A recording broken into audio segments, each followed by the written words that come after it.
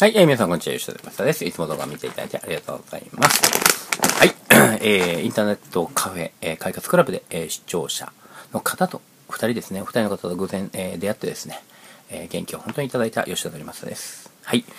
ということで、えー、今日ご紹介するのはこちらですね、バシン。カルピーポテトチップス。ポテトチップスって書いてあるな。えー、期間限定冬のくつろぎポテトチーズコンソメ味。チーズコンソメか。まあ、好きな組み合わせですね。金額、金額ごめんなさい。わからないです。レシート、どっか行っちゃいました。でも、100?100 円から200円の間ですよ。要は。はい。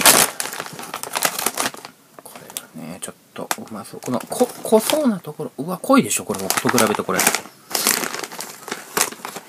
ほら、全然ちゃう。ちょっと薄いのから。うん。うまい。濃いの。うん、濃い。うまい。うまい、星5つ。やっぱこれ系はもう間違いないな。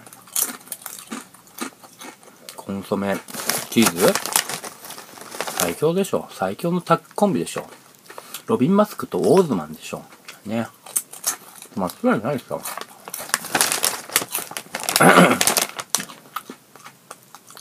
うん。うまい。間違いないです。はい。ということで今日ご紹介したのは、えー、カルビーの、えー、期間限定冬のくつろぎポテトチーズコンソメ味厚切りでございました。ありがとうございます。